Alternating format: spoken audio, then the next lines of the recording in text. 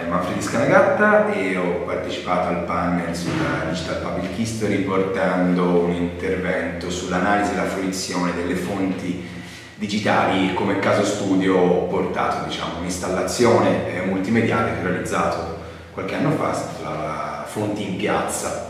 E il focus del mio intervento era capire come poter utilizzare la fonte digitalizzata, in quel caso io ho lavorato sulle fonti audiovisive dell'Istituto Luce, quindi non una fonte digital born, ma come appunto una fonte primaria digitalizzata. Prima istanza da chiedersi che cosa succede quando digitalizzi una fonte primaria, avviene una rimediazione della fonte da materica, si trasforma in, in intangibile, diventa un codice che ti riesce a spedire attraverso un'immagine digitale, quindi ti vai a confrontare con un simulacro questo che chiaramente cambia lo statuto epistemologico della fonte, la si deve osservare in eh, maniere altre, ci sono varie opportunità tecnologiche che ci aiutano a osservare attraverso sistemi di alta definizione, eh, la fonte digitalizzata può essere approfondita, cosa che l'occhio umano non, non arriva a vedere, con le macchine alta definizione di ripresa si riescono ad andare a vedere dei particolari specifici della fonte. Le, le fonti digitalizzate vengono aumentate di contenuto attraverso l'inserimento dei metadati e anche i metadati si portano dietro delle questioni eh, epistemologiche non da poco, perché sono metadati descrittivi, ma possono essere anche metadati di natura semantica che in un orizzonte di web semantico portano attraverso l'utilizzo di sistemi di intelligenza artificiale a poter fare delle comparazioni tra delle confederazioni di archivi che hanno la digitalizzazione delle fonti attraverso appunto parole chiave di eh, significato semantico e quindi non solo descrittiva con un anno o un nome, ma proprio come può essere andare a fare una ricerca attraverso il termine violenza e si possono aprire dei canali di ricerca. Questo apre chiaramente una serie di eh, possibilità e incertezze che vanno ancora sondate. E l'esperimento che ho portato io, appunto, questo Fonti in piazza, era relativo alla narrazione della storia del fascismo in Italia e l'ho portato effettivamente in una piazza di Roma, della periferia est, a Casa Albertone, eh, attraverso l'utilizzo di eh, schermi diciamo, mediati da dei laptop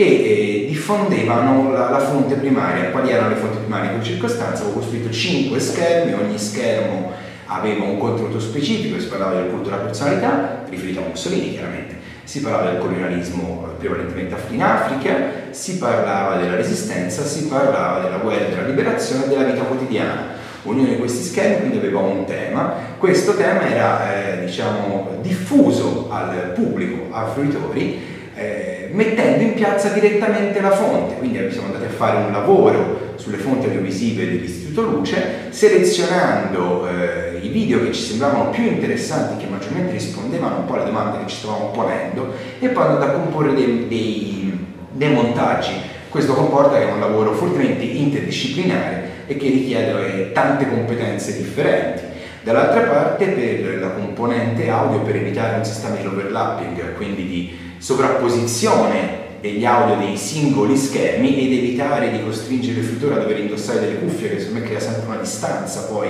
dal contesto in cui ti muovi, abbiamo costruito anche lì utilizzando sempre solo fonti primarie digitalizzate, prese da archivi formali come quello dell'Ampio come quello dell'Istituto Luce, ma utilizzando anche ricerche web classiche, quindi utilizzando canali come YouTube, Google. Eh, abbiamo fatto un montaggio di eh, audio che raccontasse tutto il periodo fascista a partire dal discorso del bivacco di, di Mussolini fino ad arrivare ai discorsi di Calamandrei degli anni 50. Nel mezzo ci sono i passaggi cruciali del fascismo, quindi con tutti i discorsi più importanti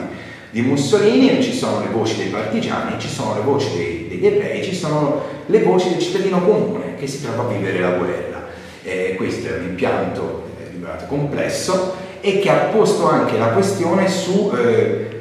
come si può costruire una narrativizzazione della storia e qui si entra in tutto quel canale, a mio avviso, molto affascinante che riguarda le teorie di filosofi e pensatori quali White o Richard.